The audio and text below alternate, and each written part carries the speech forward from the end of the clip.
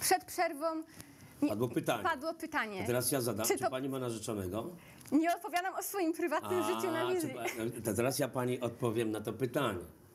To jeżeli go pani nie ma, to znajdę dla pani dzisiaj czas. Oj, ale proszę pana, No. ja mam, ja A, mam. Ale odpowiedź niesamowita. Także- Stąd te czekoladki chciał mnie pan przekupić. E, Tak troszeczkę.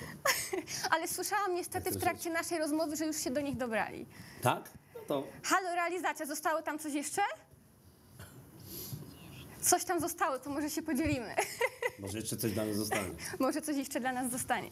Ja lubię z y, Merci bodajże migdałowe. Są bardzo dobre.